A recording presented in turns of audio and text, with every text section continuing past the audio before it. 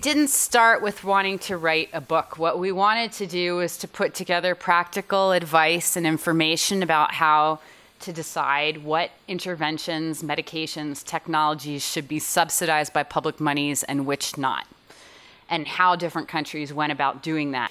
This is really an emerging field. There's been a lot written in related fields on cost effectiveness analysis, on health technology assessment, on generic priority setting, but less on how to very practically make it work in a given government setting, especially in low income countries, because there you would guess that the stakes are higher, your budget is smaller, so deciding what's in and what's out is even more important. So I start out with a very simple one. Um, the process of setting up and adjusting your health benefits package is practical. I don't know how about you, but I have been in so many countries where there are tremendously ambitious views of how uh, the benefits package is actually going to be designed and adjusted. And they, these ambitions are just not in line with the avail available resources. You have to think about how to make your design and adjustment coherent with your time. Political time is very often very different from technical time. I think you have all heard of politicians saying that they want the total benefits package designed with an overall HTA review for all the potential services in one year. So you have to be coherent with your time, with your money, with the political restrictions, your info, and your skills. Second, we should never forget that the sustainability of a health benefits package policy rests on support from key stakeholders because they are the ones who are going to give you the money to implement the benefits package policy. And that's just as important, they are the ones who are going to support you when you have to take very difficult decisions about what's out. So what this means in terms of good governance is that you should take into account stakeholders. They will want to have a voice. They will want to know what you do, how you do it, why you do it. They need to trust in what you're doing. So technically robust work is very important. And also, trust is not something that just appears like that. It builds up over time, which leads me to another important good governance principle. You need to apply processes consistently over time to let trust build up. Uh, the third characteristic of a sustainable health benefits package policy is, of course, that it must be affordable and implementable. And I think there have been many great comments this morning showing that very often health benefits packages are neither affordable nor implementable. Very often they are aspirational, but without saying so. Because I think it's okay if you say that your idea of the future is that and that benefits package and that you want to move towards that, that goal, but you have to say how you're going to get there. You have to start establishing the process of how you're going to gradually move into that direction. Because otherwise, for politicians, it's very easy and very rewarding to say that they are going to provide a very comprehensive benefits package. And they will leave in two years and they don't care about uh, at all whether it's affordable or implementable. So uh, the good governance principle that is implied here is that you have to be coherent with your resources and with other public policies. Fourth, and I find that interesting that this morning several of you were saying, we are in the process of reviewing our benefits package. I find that very interesting because 10 years ago, most people would say, we are about to think how to design our benefits package. Now it's more about revision, but what I also find interesting is that when people talk about reviewing their benefits package, very often they do it as if they were starting it all over again. So this means to me that no processes have been in place. Last but not least, I think, and you will say that it is self-evident, but your benefits package needs to be in line with your goals. I think we, many of us know uh, normative frameworks which, which state great goals of a benefits package benefiting, benefiting the population health and financial protection, da, da, da. but then when you look at the benefits package, it's not really connected. And even worse, when you look at what's gradually being included in these benefits packages, goals seem to be forgotten. So um, what's, the, what's the message here for good governance? Make sure goals are a key element when deciding on what to prioritize now and in the future. Resist political pressure to include services for political reasons and make sure resources get allocated to the benefits included in your package. That last point, I think we have been talking about that this morning, and Amanda will have a whole session that will talk about this. So getting to this sustainable health benefits package um, is a very difficult issue, especially given two characteristics. First, a health benefits package is something most people really care about. It's not just constructing a highway or getting a new sewage plant or um, getting an education program for PhD students. It's something everybody cares about. So what this means is that people will really be watching what you're doing, which also means that good governance is absolutely essential.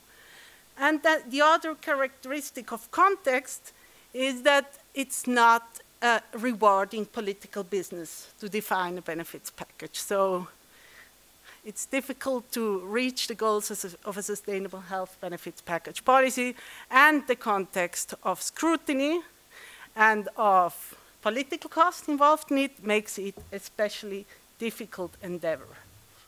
Uh, some key concerns, um, I think some of them have been mentioned um, this morning, conflicts of interest, especially of strong groups, pharmaceutical industry, uh, insurance companies. Um, so you have to, to think about how to manage them explicitly. They won't just go away. This is a very difficult issue. A second issue is this uh, imbalance of power, which is really difficult to manage. Uh, someone this morning said, I wished we had more help with the management of key stakeholders. I absolutely agree.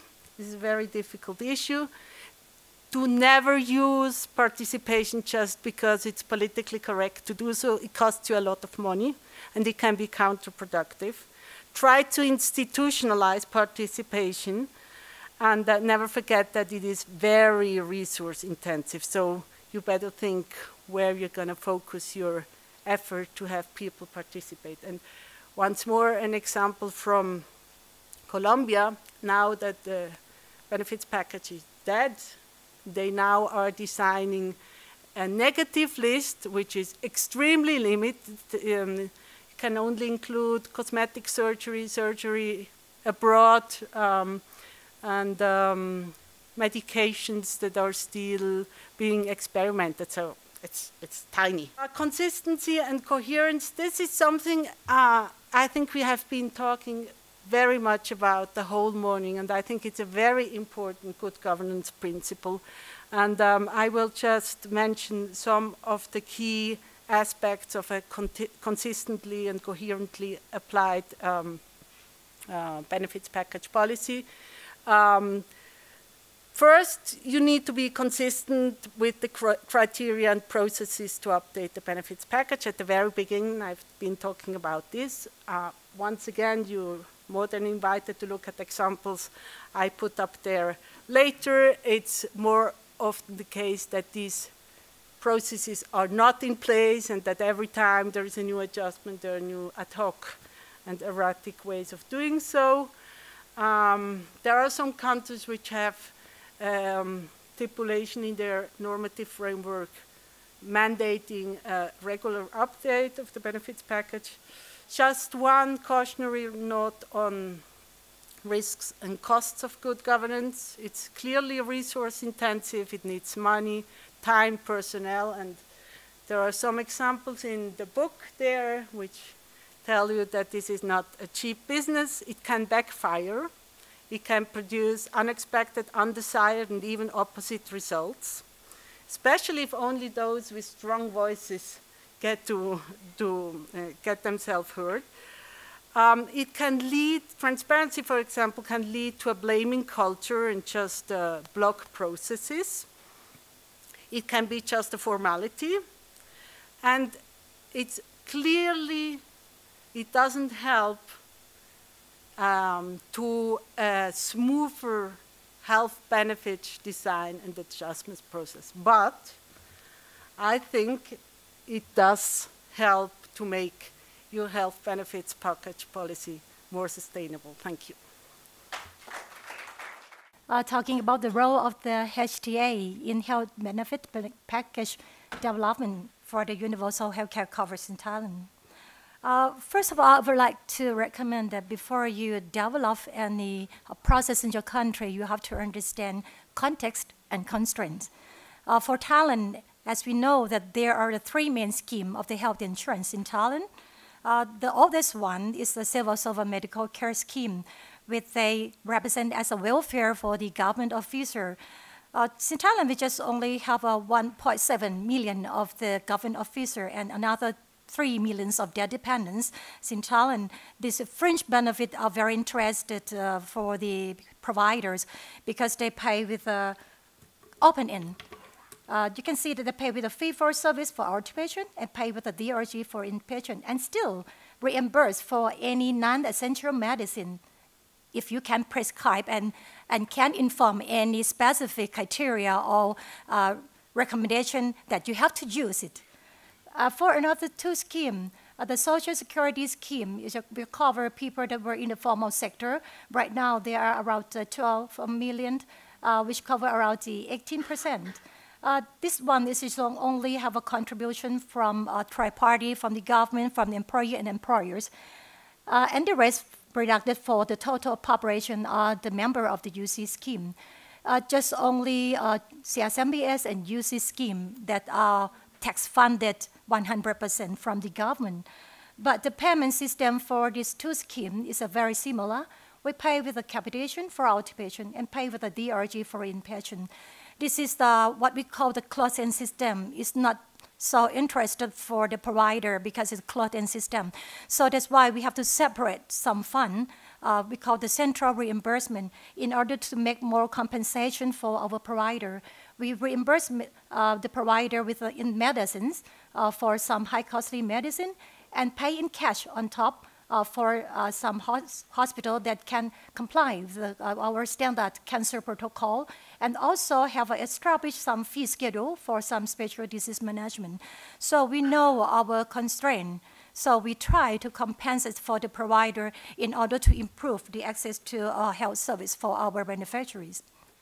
Uh, the problem is this, because the benefit package for the UC come from so many ways, come from the professional or the academic suggestion, come from the complaints from the, uh, our beneficiary, and, and, and necessary is uh, we conduct the public hearing every year. So the public hearing have gathered a lot of the requirements from so many areas in, in Thailand. And then in the past, uh, that I mentioned that we have a subcommittee to develop for the uh, health benefit here, and they just only to approve to the subcommittee if we have money enough or not. If, this uh, subcommittee said uh, on the health finance said that okay, it's affordable, and then they will submit to the uh, National Health Security Board to make a decision that we will reject or we will agree the problem has come because there are a lot of the number of the issue proposed from so a variety of the group of the stakeholder that come into the subcommittee every year. Some have a very, uh, very quality of the evidence, but some are very weak, uh, especially uh, that based on the expert opinion on some cases. So we found that uh, it was evident that there was a bias sometimes uh, to the power groups. If they can uh, inform to the newspaper and make uh, into social media and have a lot of pressure on the subcommittee. So this is uh, what we have uh, faced in, in the past. And sometimes they can lobby to our secretariat as well. So now we try to replace this process with some technical body with a systematic, transparent, tra uh, participatory, and evidence-based. Uh, something that what we call technical body is a tough job for NHSO because how can we make it more accountability, transparency, and responsibility? What the HTA provide for UC development, they try to provide the value for, for our money uh, by using the threshold of the ICER, uh, and the budget impact compare the current practice and the new intervention, and then talking about the feasibility study because we have to concern more for the capacity of the, uh, of the providers too. But be careful that HTA or HITAP is just uh, no mandate to make any policy decision. They just inform the policy development. So I just want to give you a bit of background uh, to the situation that uh, is going on in South Africa. I think uh, everybody here knows we've got 54 million people, a very high Gini coefficient. So this issue of inequalities is front and center in South Africa and cannot be ignored, and it actually bears no relationship to the GDP. So it's a very unusual situation. Uh, life expectancy at birth is rising, but minimally. HIV prevalence is still very high. We're at the epicenter of the HIV epidemic and um, we don't have um, the same kind of physician uh, ratio as most um, countries, certainly in high income countries. So the healthcare provision in South Africa is the following. Um, you can see that um, there are about 16%, the top there uh, is privately insured patients with minimum benefits legislation and about 80 medical schemes.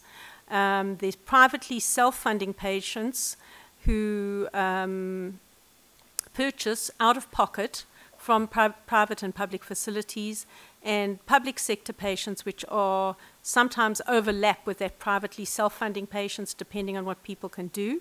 Uh, and in this case, uh, fairly weak infrastructure and fragmented and is subjected to existing national policies and provincial programs. There's variable quality, but it is free currently at the point of use. So I think it's very important.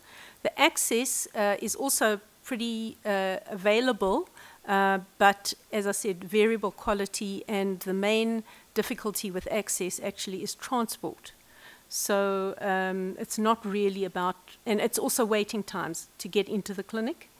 But in fact, everybody has access in the country, and it's free. Um, so uh, the, the public sector is tax funded, the private sector is households and individual funded, um, and um, the spend per annum you can see uh, is about tenfold different between the private and the public sector. So the national health insurance has been on the cards since uh, South Africa uh, became a democratic uh, state. And um, there's a white paper that was issued in 2015. Um, I'm looking at it mainly from the point of view of HTA, which talks about a little bit about what HTA could do uh, in the process of national health insurance. Um, but I do want to just say this, that achieving sustainable and equitable NHI slash UHC in South Africa will certainly identify rely on the following four issues. Firstly, identifying the benefit packages that are cost effective, that's important, but that would improve equity. And I just want to say there's been a big, um, I don't know how else to characterize it, uh, disaster in the last couple of months with a whole lot of mentally ill patients being transferred to NGOs in, in around the country. And over a hundred, and probably more of those people have died and people are the public is completely outraged, which and so are we actually, uh, as to what has happened. But I do want to just say that if you want to talk about political economy, this is an issue that will affect the way we talk about money, costs, and value for money. in health because people are just furious that the cost of sending these people to NGOs and where they died of diarrhea and dehydration, literally, um, is going to be a hard sell. Anyhow, the bottom line is, as I've showed you before, because of the Gini coefficient, the issues around equity and the most vulnerable are really front and center here. Um, the other thing is that understanding the impact of quality improvement on health budgets is, is going to be critical. Okay, we have access. 90% of South Africa uh, mothers actually deliver in a health facility, and um, so we don't. We're not at a point where we need to increase that. But what we do need is a quality improvement issue. Okay, and that has been flagged by policymakers as critical. Certainly, targeting the most at-risk populations is important and improving data collection on patient outcomes with better financing indicators and enhanced processes of care will be critical, and the data collection issues certainly can be improved. So this is, uh, this is where we are, and I just thought it would be helpful to set the tone. Um, we've done a legal and policy gap analysis um, in July 2016. There is no specific provision in the National Health Act for an HTA entity or agency. It's fairly narrowly and incompletely defined. Um, and the limit, there's been limited attention given in the NHI white paper regarding the mechanisms and structures. There's certainly now been a lot of opportunity to comment, and we've certainly uh, done that. Um, we work closely actually with CGD uh, on this work uh, as to whether we need an independent priority setting institution immediately. And we are now working on uh, who and how the key functions will be performed, what the current capacity is, and what sort of capacity strengthening is required. Uh, and as a result of our efforts uh, with the National Department of Health uh, and the Treasury, we've, we've been asked to assist with this from Priceless. So um, we'll certainly draw on the mapping reports that we've done um, and how it interacts with other public bodies, what the human resource requirements are, and logistical arrangements. And we're in the process of uh, developing a phased strategic plan or roadmap for the development of an HTA function. Um, so, as I said, there's, there's no established national HTA organization yet. We're in the process of doing this. Uh, it will include, we hope, uh, efforts to create clinical practice guidelines and protocols, the pricing of healthcare products, and the reimbursement and package of benefits. Um, and and we, sh we should recognize that this will be advisory in nature. Um, I don't want to go uh, through all of this, but we certainly want to meet the constitutional requirement for reasonableness, uh, where the Constitution has said the state must take reasonable, legislative and other me measures within its available resources to achieve progressive realization for all South Africans of the right to access of healthcare services. And we think that an HTA framework can provide this uh, accountability for reasonableness. Section, section 27 of the Constitution states that every person has the right to have access to healthcare services, including reproductive health care. And in South Africa, we have excellent health policies. Um, but obviously, we cannot fund every single policy that has been issued by government. And Treasury plays an important role in determining where to allocate resources based on the national priorities set by government um, and through civic engagement. Uh, to give you an idea of um, some of the background in terms of the national health insurance process. Um, I can start from 2011 when the process was kick-started and government um, issued a green paper. And the process has been um, jointly um, done in collaboration with National Department of Health and National Treasury um, in terms of drafting the green paper. And also the NHI work streams. I don't know if um, all of you are familiar with the NHI work streams process in South Africa, but in 2014, um, a workshop was held in which Treasury and National Department of Health and provincial um, government representatives met to discuss the way forward on NHI. And the outcome of the workshop was determining what are the key contentious issues um, between Treasury and NDOH around the NHI proposals laid out in the Green Paper. Um, and one of the, the work streams that was created, um, so there were six work streams that were created um, out, out of these list of contentious issues that were identified in the, work in the workshop. And one of the work streams is designing an NHI benefit package um, which a few of us are, are members of in um, the room today.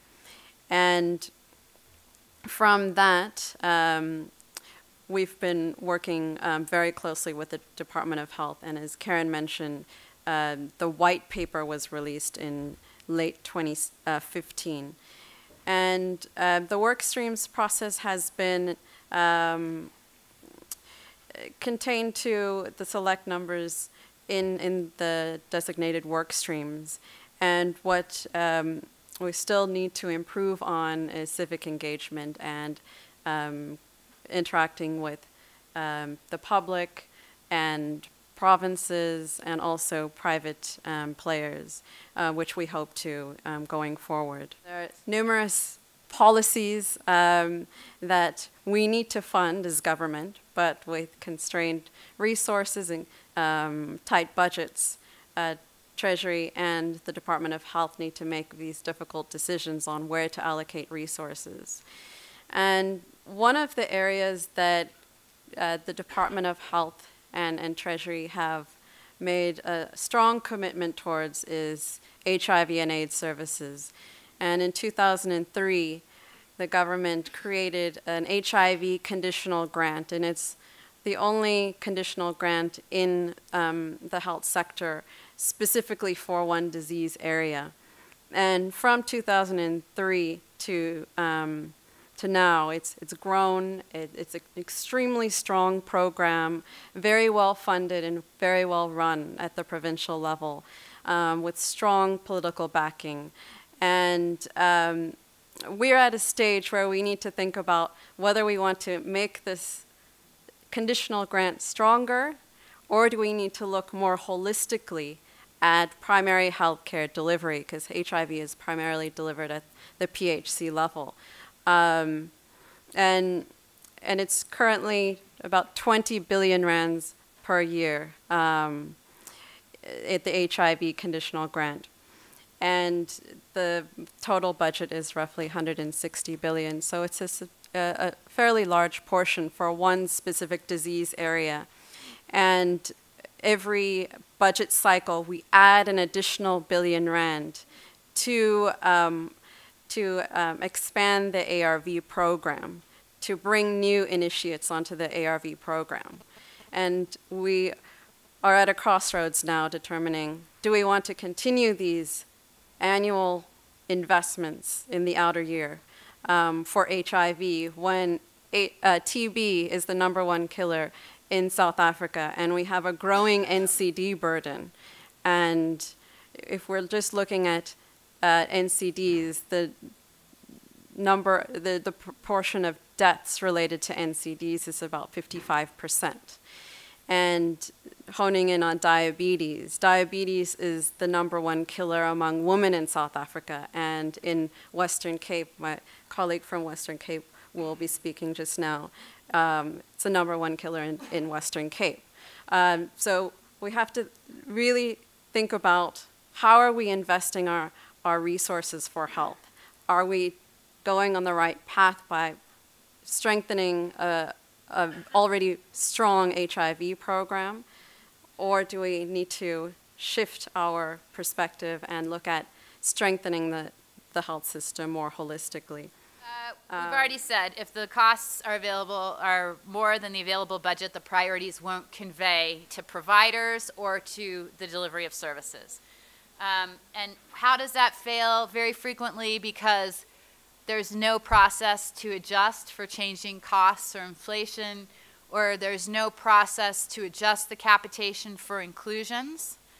Uh, because grandfathering, what I mean by grandfathering is a lot of times when we start a benefits plan policy, we look at our expenditure in the last year and we just divide that by the number of people and we say this is the amount it costs to provide a bunch of services because you just have to move on quickly. That's called grandfathering, and it's been used in a lot of different countries.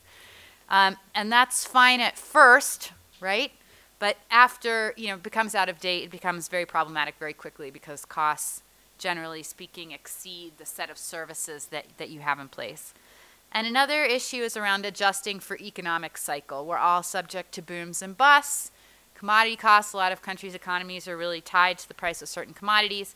Are you set up to respond to that in the way you're budgeting for benefits? And then frequently, you know, we see a situation where there's no budget impact analysis at all. And, and this is something that I think you're pointing out to us when you say there's lots of investment cases and cost effectiveness studies. I think it was Patrick who said it, suggesting lots of different things are cost effective. But the point is, well, either you're going to use a rule for cost effective that actually re reflects the budget constraint, or you should do a budget impact analysis, which allows you to know what it actually means to fund it. And Net showed us this morning the budget impact analysis of different options with different levels of efficacy.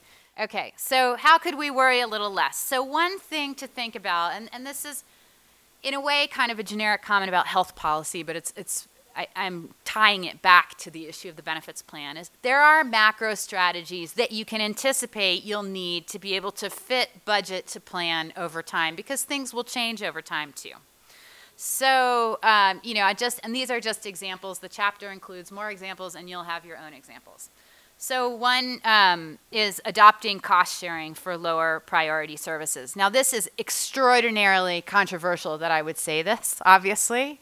Uh, you know, no one likes user fees, no one wants a barrier at services, but if something is lower priority and you can subsidize something of higher priority, we should be able to make the case that that is pro-equity, pro-health, and not take an across-the-board view of this.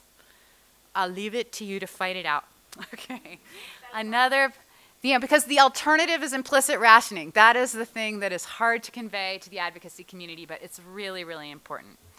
Um, also, well, something like uh, value-based pricing, or um, they have these like risk-sharing purchasing agreements with pharma that I don't know how well they've been evaluated, but you know, one, this is more like a medicines policy thing, but the idea of using, um, they'll allow, they'll, they'll let people buy whatever they want, but they will only reimburse for the cost-effective generic option that's on the market. You know, so there are those kinds of things. Um, a second kind of category of strategy be, would be around, you know, smoothing cyclical effects or an, anticipating unexpected expenditures. So, you know, if you're a health insurance fund, you've already done this, but you should have a reserve that disperses automatically to cover your benefit liability when contributions fall. How far that goes is also, but you know, like if Estonia has like six months in their reserve fund to survive, what happens at six months if they're contributions don't go back up, well, they're going to have to revisit the benefits plan again. I, I put adjusting benefits at the bottom because this is what this whole session is about, and we'll talk about this a lot tomorrow. But, you know, ideally, you would adjust benefits last, right? You would try and do these other things to, if, if you've gotten to a list of benefits that you think is cost effective and important and meets all your needs and all that kind of thing. Um, analytic methods can contribute in the following ways. They act as a sort of um, referee above the fight between different interest groups. And so they can act as a, a consistent referee between competing, competing claims for resources. Um, the whole um, issue, when, when you start doing analytic methods, one of the things I like about uh, any model is that it, you begin to realize what the key issues are and actually um, what what you need information from the policymakers about, what values you need from them. But actually, when you try and pin them down as to what they mean by fair, it's actually quite, quite difficult to get them to say whether, for example, is it equal access for equal need? Is it equal life opportunities? Is it just equal uh, resources? Um, and actually, they're, they're often quite resistant to that. But as analysts, if we, if we are asked to incorporate equity into our work, we have to know what concept of equity we're being expected.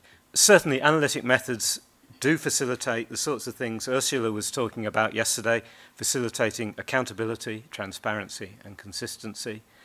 Um, and also, we have very little evidence on much of what we do, uh, but the analytic methods, the role of them is to use that evidence to best effect and to squeeze the most information we can out of it.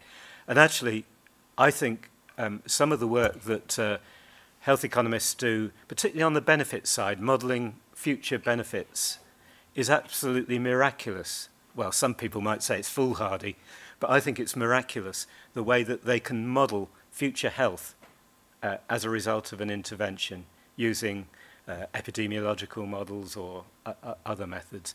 And I, I think that's a terrific thing. Uh, and these courses that we talk about um, on cost effectiveness analysis uh, obviously give uh, a very good grounding in those sorts of methods. Resources are limited for analysis, and so using analytic methods, we can actually focus on which areas of analysis um, it's really worth trying to uh, sort out.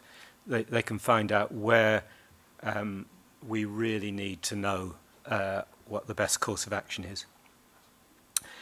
And the other thing about uh, analysis um, is that the, uh, it can act as a way of demonstrating that health service resources are being spent wisely. Actually, I think it's really important, particularly, for example, in the negotiations between a health ministry and a finance ministry, um, that the, the finance ministry can be assured that the resources are being directed where they have best value. And it's the analytic methods that can, in principle, help with that, uh, with that task. So, uh, what are the key analytic choices we make, we have to make when making our methods operational? First thing is to work out what we mean by value. Well, health is the traditional one, and um, recently uh, we're getting much better at recognizing what we mean by financial protection. Um, I'm actually not sure we've quite got the metrics right on financial protection. Um, financial protection has two elements. One is that it's whether people are paying a lot of money for their health care, and that's the thing the World Bankers concentrate on. But the other element is whether people actually get access to services or whether they're deterred from services because they can't afford it. They're certainly not having any financial impact, but they're not getting the health they, they need. So financial protection, I don't think we've quite got to the bottom of the metrics for that yet. It's actually based on a simple concept of constrained maximization, uh, typically of health with respect to, uh, to a budget, a fixed budget. Um, and what we try to do for every, um, every intervention we consider, we want to see what the incremental costs and benefits arising from inclusion of that intervention would be. This incremental thing is really important, and, and sadly, I think we've had a bit of a diversion from WHO. They haven't, I mean, WHO do a lot of great work in, uh, but sometimes I think they, um, they go off the rails a bit. And generalized cost effectiveness analysis, or WHO choice, which actually so we will look at um, we will look at interventions from a zero base. Now, one of the big weaknesses I think of cost effective and CEA is that uh, it does assume, in its simplest form, that interventions are independent of each other. Costs Yeah, so I said I'd talk a bit about costs today, and this is it. Um, costs is quite extraordinary how little work there is on costs. Um, I guess, again, this might reflect to some extent the fact that much of the early CEA was done on pharmaceuticals, where the costs are not entirely, but certainly to a large extent, um, the price of the pharmaceutical. Uh, but of course, for services, for health services, costs are much, much more complex than that. Um, in principle, we should seek out these opportunity costs. If we use these resources for this patient, what is the cost for other patients. Uh, but in, in practice, that's not feasible, so we look at accounting costs. But um, their methods are applied uh, highly, um, uh, with great degrees of variation. Um, there's a lot of judgment involved. And in particular, in health services, where there are these extraordinarily high levels of overheads, might be 40 or 50% uh, of costs are in the form of some sort of overhead um, which can't be allocated to individual patients. Uh, there's a great deal of room for judgment. To start the, the discussions around the proposed changes in the methodology, what we did first was to look at the previous methodology used um, for defining the EHP, um, which uh, this was used in 2011 to define that package up until 2016.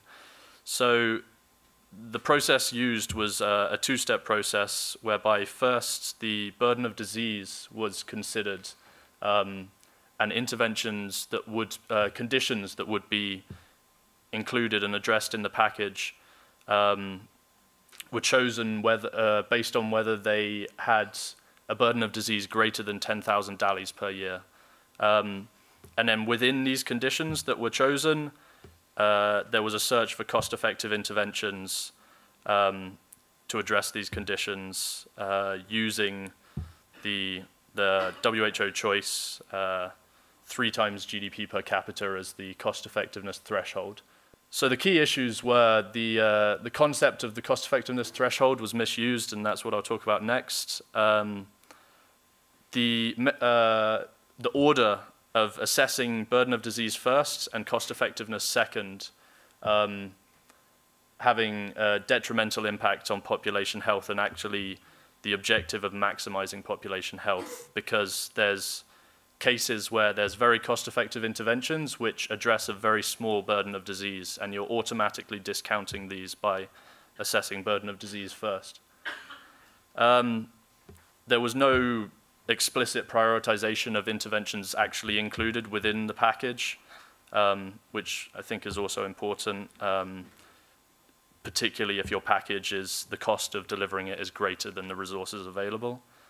Um, and there was no reflection of the supply and demand side constraints on implementation, um, which again I'll come on to.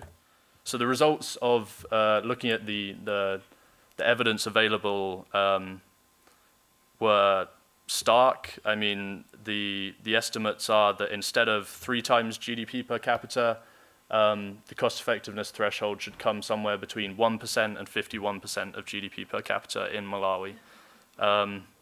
So rather than uh, 1,050 US dollars per DALY averted, we took the, the uh, mean of the two papers and came up with the threshold of $61 per DALY averted. Um, I'll talk a little bit about this later and, and how, whether this was necessarily right or not.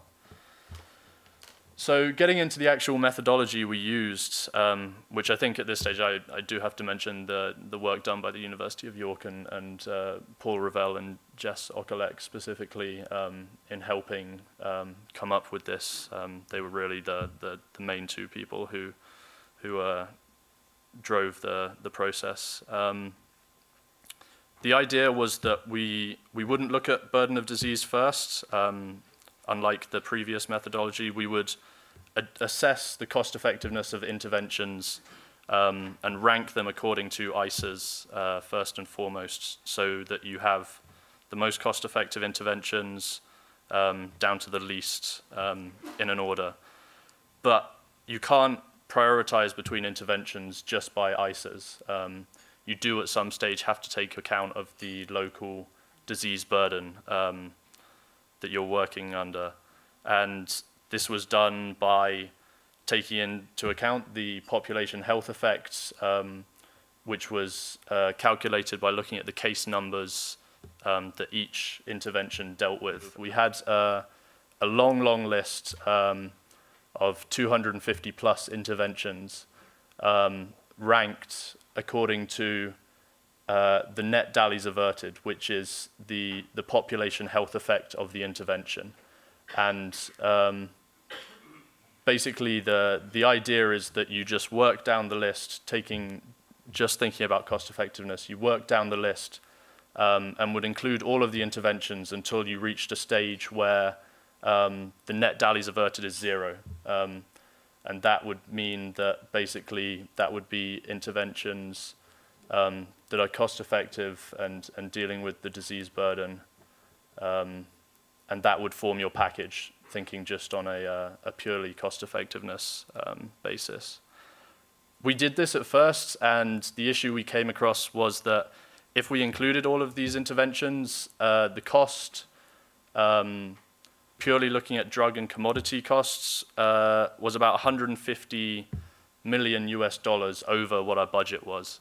So that brings us back to the point of a cost effectiveness threshold and where there's obviously still work needed um, to be done in uh, establishing context specific thresholds. This assumes full implementation. So um, what the methodology also is able to do is take account of the health system constraints um, of implementation. And there's many, many um, uh, aspects of a health system which can impact on this, shortage of health workers, shortage of infrastructure, uh, medical equipment, which essentially mean that even if a package is within your budget and financially attainable, you won't be able to deliver it to the entire population in need.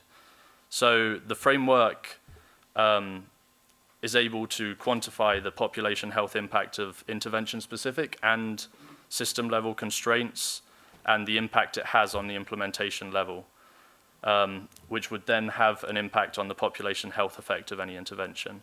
Really, it's about disaggregating the interventions um, as much as possible, but while still maintaining their clinical acceptability. Um, so I think there's a, a whole discussion around um, how you lay out the interventions there. Um, again, the, the, the previous framework being an issue and um, risking lowering population health, I think we, we've at least moved away from a lot of the problems that that caused um, with this methodology. Um, but it only works if it's actually stuck to during the process, um, which is where the issues lie. And then, as mentioned previously, the, um, the cost effectiveness threshold estimate that we had still not being perfect. Um, uh, it's still too high, um, but then the lower you get, the less people are willing to engage in conversation because the harder rationing, you know, it becomes an even harsher rationing environment and uh, upset a lot of people with um, when you have a package with only three or four interventions in. It's, uh, it's hard. The take-home message is that basically uh, methodology is very important and uh, CEA can be used, but used inappropriately, it won't achieve the desired objective. Um, so the first thing to do is make sure your methodology is right. Um, but this doesn't guarantee success. Um, ensuring the methodology is right is a, a, necessary but not sufficient condition for achieving your objectives, and the process is um, equally important, and the two really cannot be separated. Um, but I think in Malawi, at least, we, we, we've made a start. We've made some improvements on, on the situation uh, as it was before, um, but there's still a lot of work to be done, and uh, we'll, we'll see in the future how that goes. I think uh, that's, that's it, basically. Thank you. The work is done by under IDSI's uh, work uh, with the support from uh, also the Ministry of Health of Vietnam. Actually, I give you a really short background that the health benefit package under the National so Social Health Insurance, or we call SSI programs, that they issued since 2009, and you can see it's, a long list of medicine, medical device, and medical supplies are under this package. It's 20,000 items. Uh, so it's almost everything.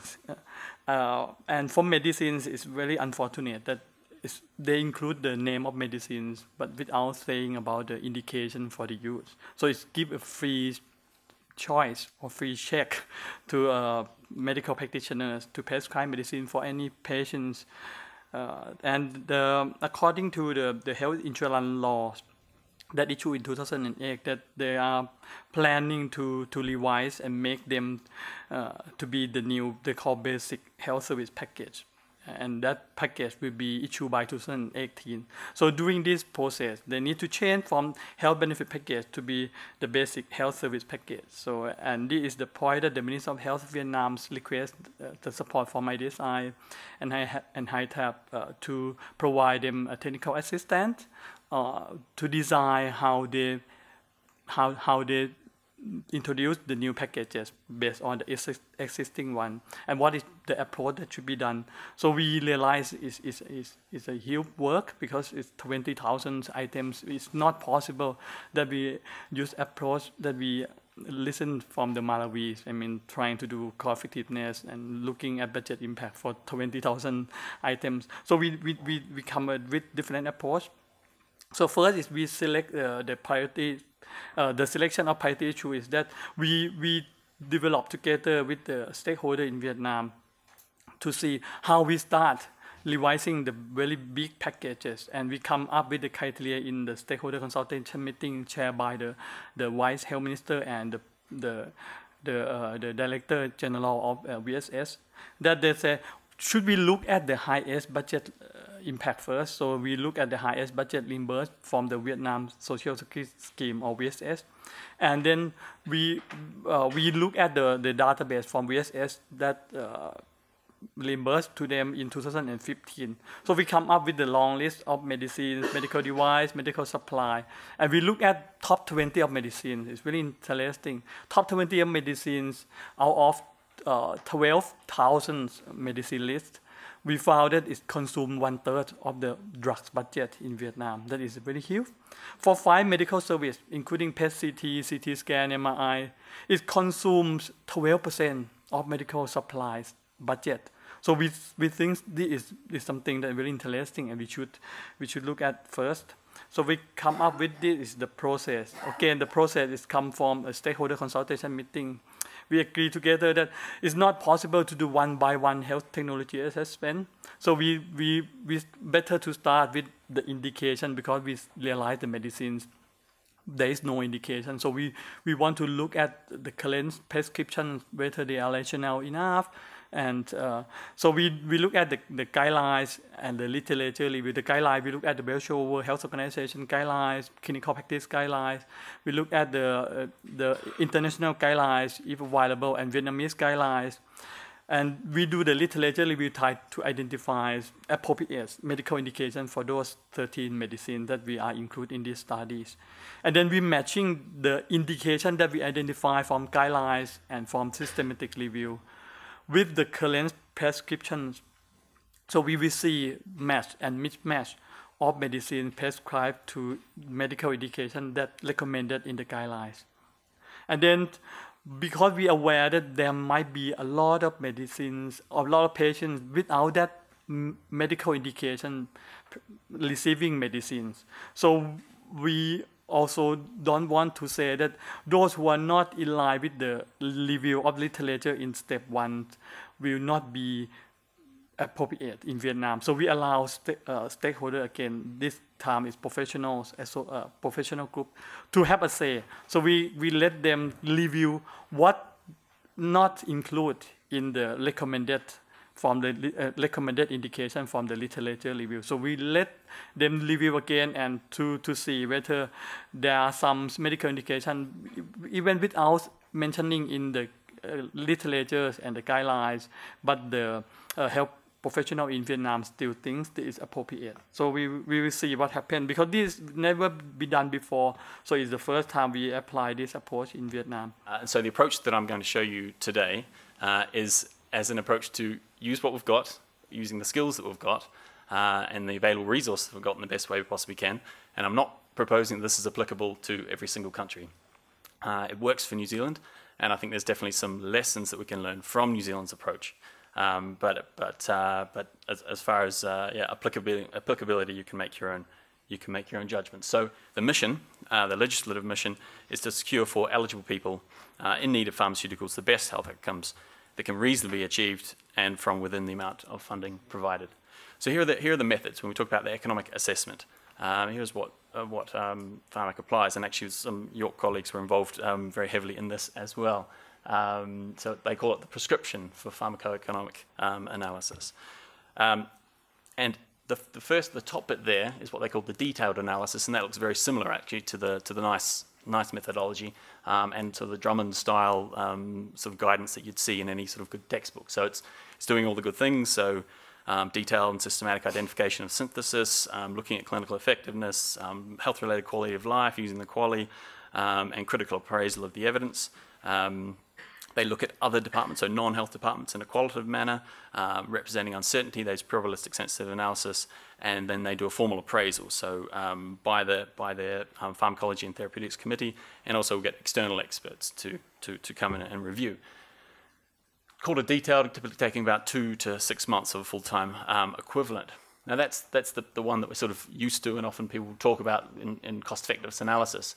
This is where Pharmac manages to be a bit more nimble because they need to make a decision. Often it's, it, they need to make rapid decisions. So they've got what's called an indicative, um, taking four to six weeks, which is toned down a bit, uh, prelim preliminary. So it's a rapid um, assessment using largely opportunistic data, um, still critical appraisal, um, but just an internal review of other Pharmac staff, so not a formal um, appraisal step. Um, and then there's the rapid, one to two days. So that really is back of the envelope stuff. Um, and that would be, for instance, if they're reviewing, say, an exceptional circumstances you know, um, request for maybe a small handful of, of, patients, there's immediate need for a decision, and they'll, they'll do this. Um, note this is very, they're fairly skilled people and they've got a lot of data sets and everything else. So within 15 minutes, you could do a data dump of, of medicine utilization and everything else using the New Zealand, um, uh, using data that's already available. So they've, they've, this is just pure analytical um, time. But this, this approach gives them quite a lot of flexibility. Um, and it means that they can meet that. If we remember that the accountability for frame uh, for a reasonableness framework, one of the key elements there was, timeliness. So it means Pharmac can, can react very very quickly to the to the needs and be policy relevant. I want to touch on one more thing very very relevant to, to actually what Yot was just talking about in, in Vietnam, but also to, to lots of different health systems. And this is called this this concept of a special authority that, that apply to proprietary medicines, and it really utilized the, the pharmaceutical schedule, the power of implementation to actually achieve implementation of, of, of, uh, of the actual decisions that we're trying to make. So a special authority is, is a restriction uh, on the prescribing. So it gets integrated into the prescriber software, um, and say for a high cost, um, a high cost med, you could specify what um, clinical characteristics or the pathway of care that the patient had to un undergo. So you could say, for example, for a monoclonal antibody for arthritis, you'd say, has the patient tried the existing DMARDs? And the doctor would tick, and, and that, would, that would generate a, a number that would get applied to the prescription, and that means you could get your prescription reimbursed. But it meant you could have control over the indication for which the pharmaceutical was being used. Now, since 2001, it's really only been applied to about 4%, um, 3 4% of, of drugs. So we're talking about you know, the very high cost uh, monoclonal antibodies or anything manufactured by Roche um, would be down here. But what has been what has increased though is the proportion of the drug cost that special authorities have been uh, attached to. So you've got over over half of the spending now is controlled with these special authorities. Um, and the introduction of the electronic special authority system, which, which came in in about 2008, really made that, that, made that possible. And it's just as easy for a doctor to prescribe using the special authority as if there, as if there isn't one there. So it's, um, it's one of the, the key things that Pharmac has really done that explains that 3.2% growth over time. So this is the, the, the, last slide, but I just wanted to, um, Pharmac calls it its unique situation. Um, and so it's got the budget, and Tony, close your eyes. So there's no cost effectiveness threshold, if you noticed, from, the, from that table. There's relative assessment. So the ICER, yes, is calculated, is there, but there's not, and the marginal productivity of the health system exists, obviously, uh, but there's no threshold that's hard and fast that will exist over, over time um, to say this is what we're going to use as our decision criterion to determine if this thing is cost effective or not. Um, and that interacts with negotiation um, and allows program budgeting and marginal anal analysis. Now, Pharmac was doing a lot of this stuff before people came up with this term, and then they said, actually, what we're doing, that actually fits, fits what these people are calling program budgeting marginal analysis, so I guess, yes, it is. Um, but this really, this really brings home um, the, the situation that Pharmac finds itself in uh, and how it can utilize um, cost effectiveness analysis and all the, the, the good processes, uh, but also in the light of their constrained budgets um, and the flexibility for negotiations.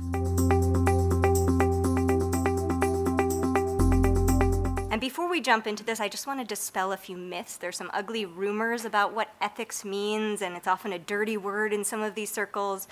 Um, and I just want to start off by saying, okay, these are not true. Um, so some people say, well, ethics is an afterthought. We can come back and, and think about the ethics later or correct based on ethics.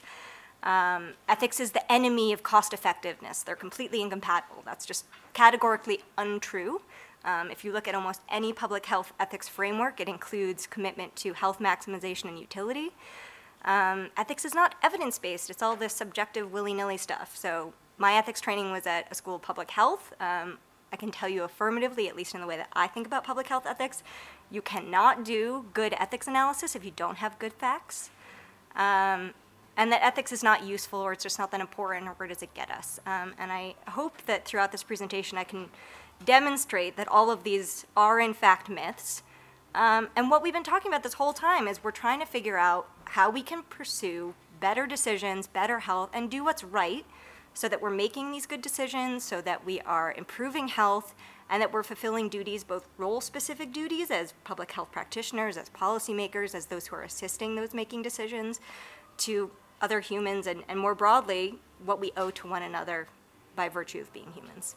So again, it's not just what's in or what's out, but why. And this is not an afterthought, as I mentioned earlier. This has to start from the very beginning in terms of the goals that you're setting for the plan and why you're setting them, and having a good understanding of social values when you're setting that goals, of the burden of disease, of the kinds of outcomes that you want to impact, and why those are the ones that you're picking.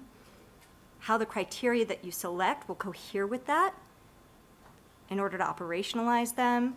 Um, which topics you're selecting because there's already this kind of rationing that happens when you're figuring out, you know, what do we look at, what do we not look at, um, and what's a justification for saying maybe we need to take a closer look at this intervention.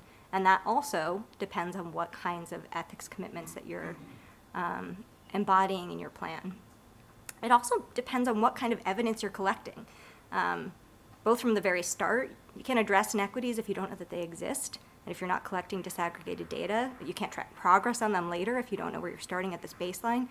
And you can't evaluate an intervention across multiple dimensions if you don't know what to look for and what evidence to bring to bear. So this is, again, a very holistic approach for thinking about the entire policy cycle of the HBP. Um, and it goes from this very broad setting to, you know, looking at a very specific intervention saying, do we include this? Do we not include this? Do we not include it yet? Do we include it for some but not for others? And all of that will depend on ethics throughout this entire cycle and just being really clear about what it is you're trying to achieve and why. So again, I mentioned some of the pitfalls if you're overlooking ethics in the health uh, priority setting process. So there's these unintentional and avoidable harms. Nobody wants that. Um, this potential to reinforce and worsen systematic disadvantage, I think, is a really important one. So a lot of people look at UHC as a way to try and address equity or inequities rather, um, or promote equity. But the one thing that we have to remember too is that this is going to be a massive policy instrument that's going to be systematically introduced. And if we have biases or inequities that are built into the way that we're doing this, it has a huge potential to create new inequities or to reinforce existing ones. So it's really important to think about that up front.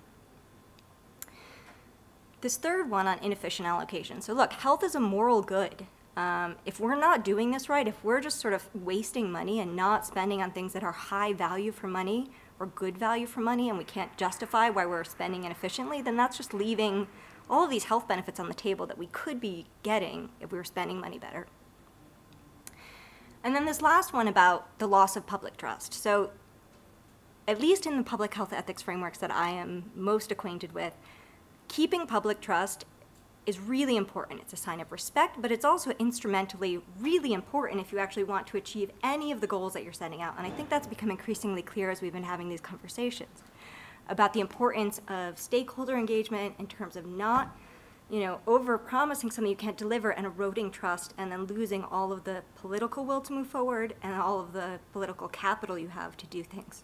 But here's a way to think about what does ethics analysis and explicit ethics analysis look like in priority setting. So there's a lot of frameworks that are actually out there. Some of them are developed by philosophers, some of them by practitioners. Um, some of them start very broad, some of them are looking very specifically at ethics and HTA.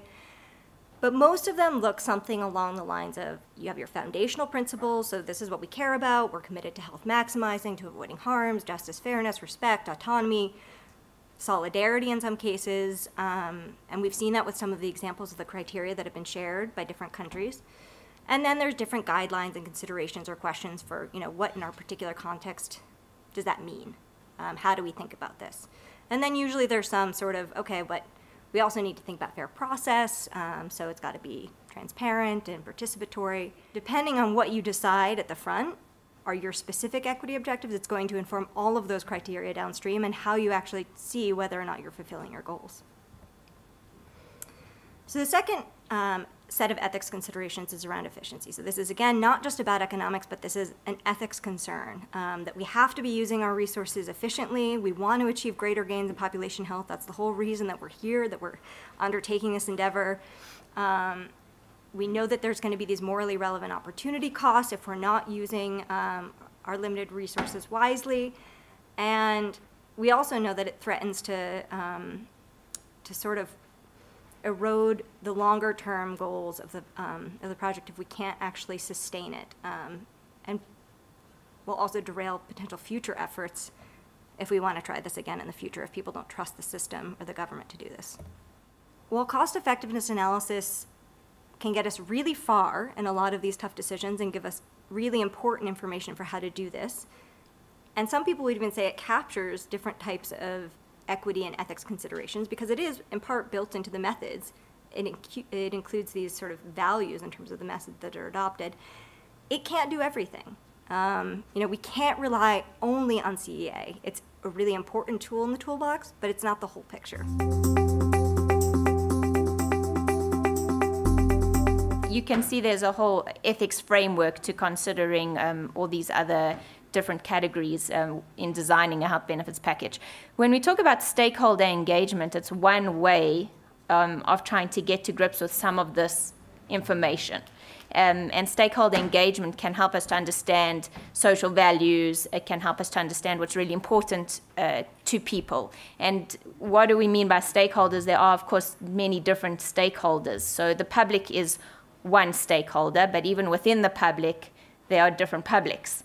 So it's a difficult concept because when you want to engage the public, you want it to be represent, you want your group to be representative of the broader public, and that's not always possible. So sometimes you're going to have to have engagements with smaller groups of people, and, and it might be quite useful to start engaging with the most vulnerable groups of populations if you want to get to grips with these issues which Carleigh has spoken about.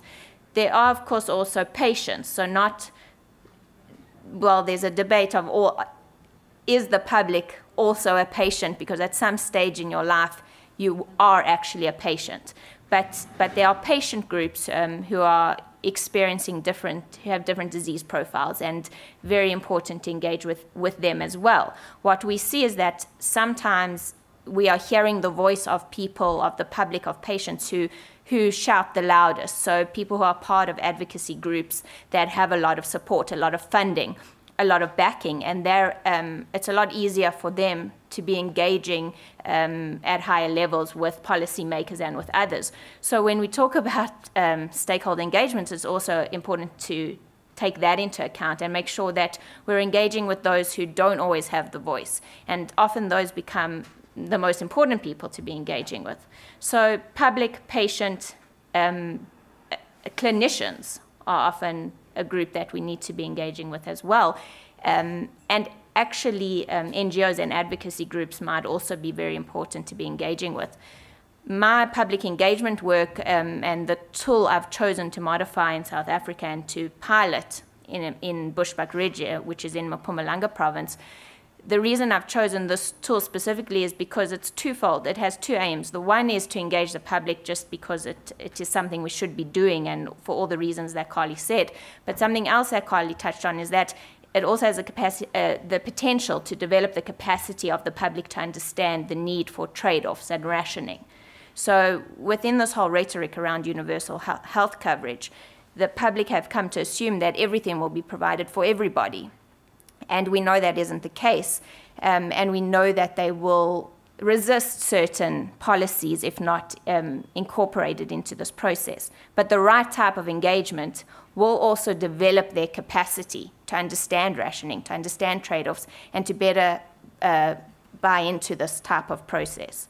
And what we've uh, realized is I think we, we are going to um, relook at, I think, first of all, the overall goals uh, of what we actually want to achieve. Uh, we have a number of processes that we need to uh, reconcile. Currently, we're just completing the National Health Strategic Plan, which should have some aspects of what we'd like to deliver in the next five years, and that has to be costed. And so um, we need to ensure that um, uh, the goals, overall goals, are aligned to what we hope to achieve in the National Strategic Plan. I think uh, that will also provide a, a, a, very solid case for investment and spend and resource allocation. Um, because um, uh, I'll tell you, we we because initially we were thinking um, we needed a separate, obviously, package for the health insurance scheme, which we're looking at. Then there was a discussion about creating a, an essential health package for the entire system. Then we also have a resource allocation formula that we are revisiting. And then we have a national health strategic plan, which we are completing. So I think first things first, uh, we take a step back and ensure the national strategic plan, I think, will be the basis.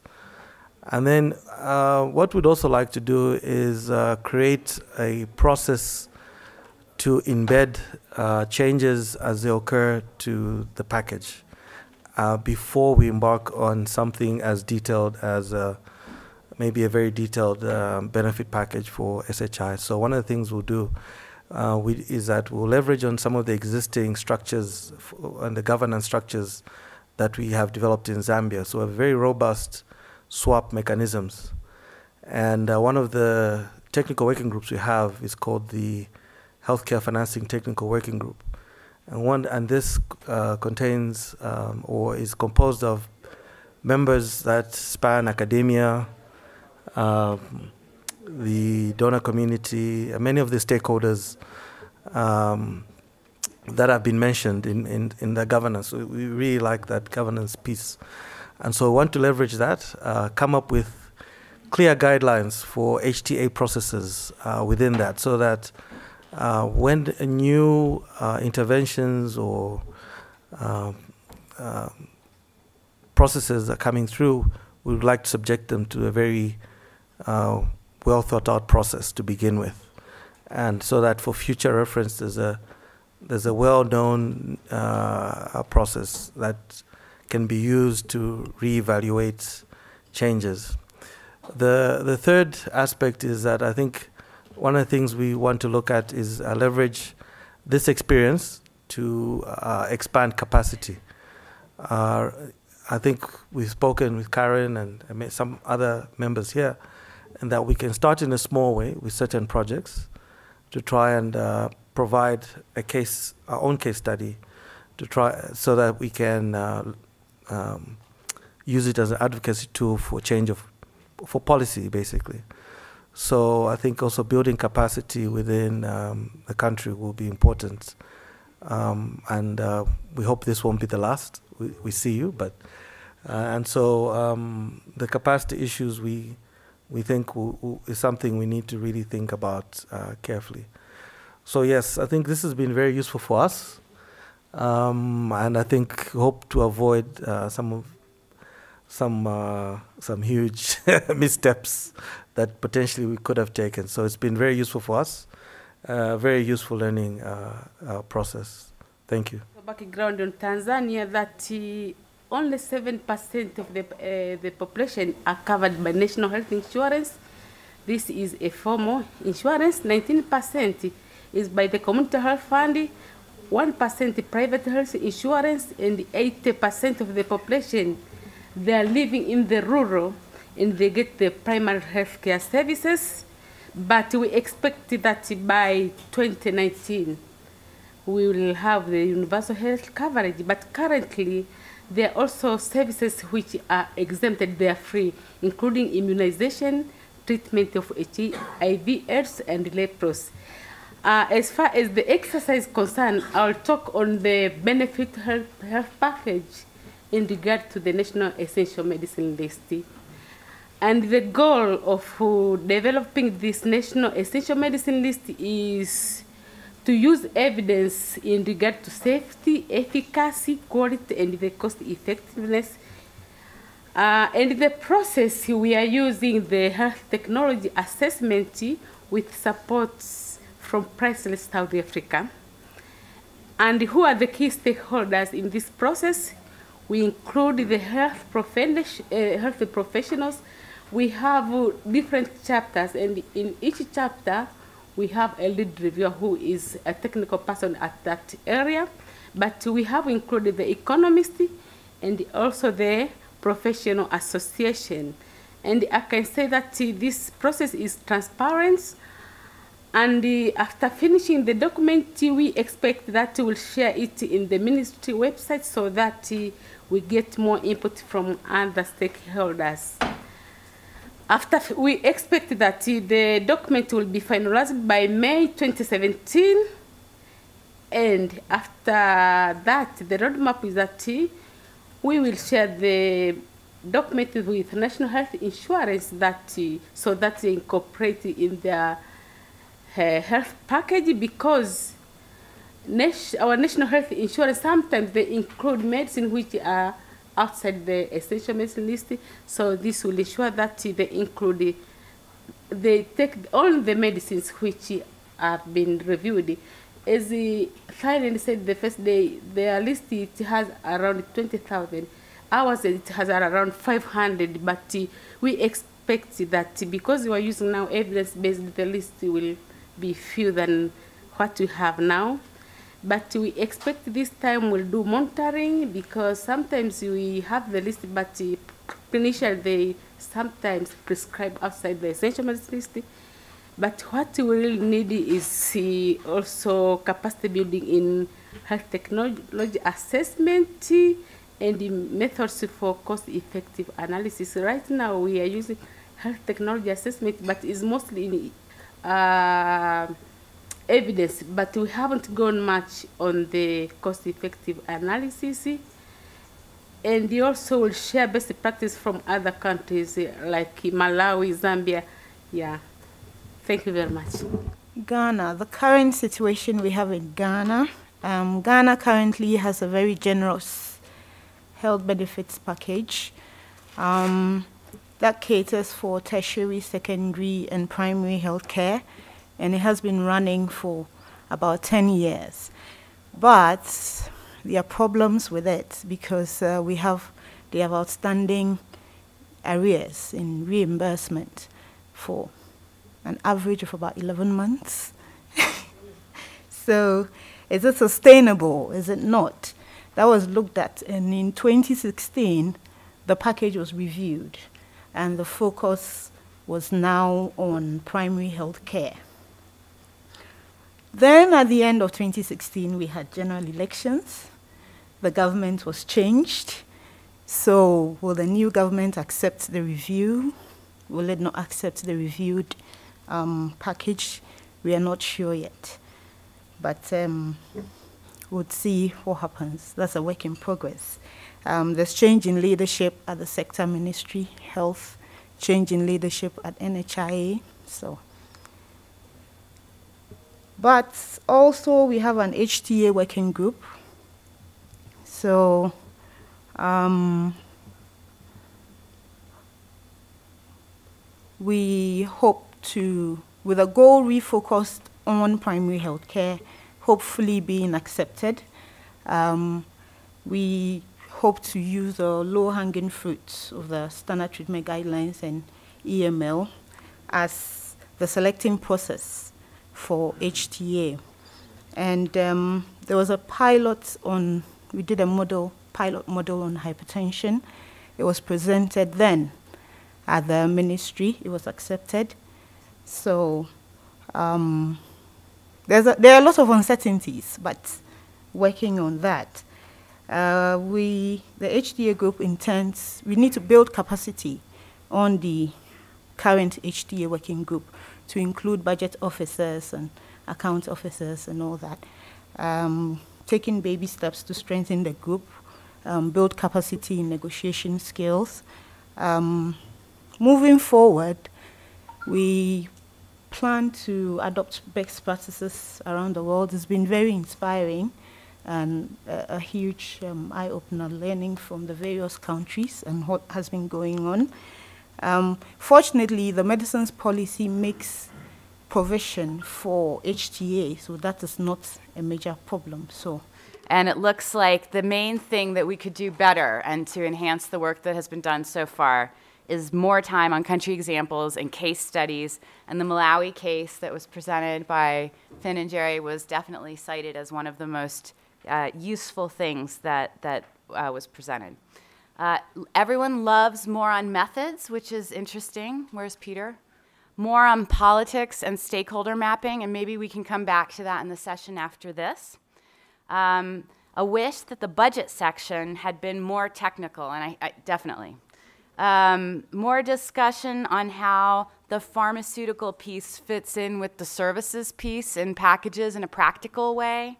Um, whether that's guidelines or something else. At the end of the day, we were talking amongst ourselves and we said to ourselves, well, maybe if you're starting really from an input-based budget, it, you know, start with the pharmaceutical list. It's, it's, it's the first thing and the indications, the stuff that Yot was talking about. And then finally, something about managing population expectations for the benefits plan. Such a huge issue. So little to say yet, but um, acknowledged a very important issue. So the question is, what are your next steps regarding design or adjustment of the benefits plan in the near term or medium term? So is it a question of clarifying the goals and their relative priority that would in turn determine the criteria and the methods and all the rest of that uh, set? Is it the triage part? Is it, is it deciding where additional analysis is needed? Um, is it more about process? Uh, it, you know, have you consulted all the stakeholders that you think are relevant for making the policy effective? Um, is it to develop a threshold or a budget-based decision rule? Um, what, well, actually, a big take-home for me, I've, I've, sort of always had this in the back of my mind, but I'm, I'm wondering if that budget-based rule is more practical in some ways uh, than a threshold that is so abstract and that people can't necessarily get their heads around. But I'm sure Peter will have thoughts on that. Um, is it to set up an independent HTA body to inform decision making, as in Indonesia and South Africa?